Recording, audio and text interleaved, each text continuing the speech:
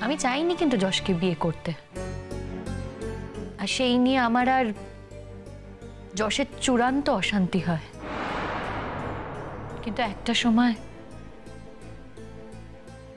এমন একটা পরিস্থিতি তৈরি হয় যে কিছুতেই তুমি আমাকে এভাবে হারিয়ে দিয়ে চলে যেতে পারো না জসদা কিছুতেই না। তুমি আমাকে না বলে এভাবে চলে যেতে পারো না। তুমি যদি বেঁচে না থাকো, তাহলে ওই চিতায় আমি নিজেকেও জ্বালিয়ে ফেলব। সেই সময় দাঁড়িয়ে আমি যশোজিৎ বোসকে বিয়ে করতে বাধ্য হই। কারণ আমার মনে হয়েছিল, একটা মানুষের জীবনের থেকে তো বড় কিছু হতে পারে না। একটা মানুষের জীবন তো অনেক বড়। যদিও বা আমাদের বিয়েটা সুখকর হয়নি।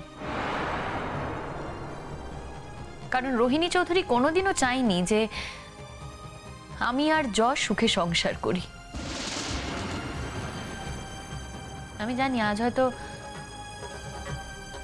যশের এই কথাগুলো শুনতে খারাপ লাগছে, কিন্তু কি বলতো যশ? কথাগুলো কিন্তু সব কটা সত্যি। একটাও মিথ্যে কথা নয়। আমার আর যশের সম্পর্কের অবনতি ঘটে সম্পর্ক শেষ হওয়ার পর। আমরা হানিমুনে গিয়েছিলাম, আর ওই সময় রোহিণী চৌধুরীর উদ্যোগে আমার জীবন হানির মতো ঘটনা ঘটে। আর ওই সময় যদি দেবদীপ না থাকতো, আমি হয়তো কোনোদিনও আমার জীবন ফিরে পেতাম না।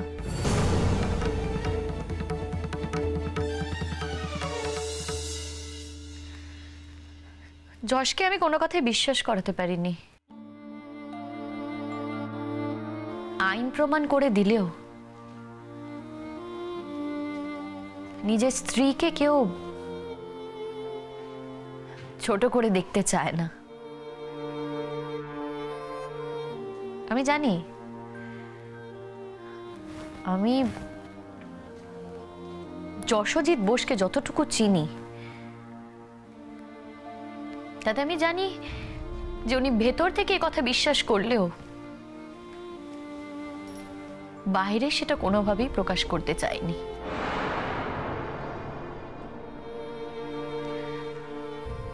যশোজিৎ বোস হয়তো খুশি হতো যদি আমি রোহিণী চৌধুরীকে ক্ষমা করে দিতাম, কিন্তু আমি সেটা করিনি। আমি সেটা করলে হয়তো আমি যশোজিৎ বোসকে খুশি করতে পারতাম কিন্তু রোহিণী চৌধুরীকে কোনোদিনও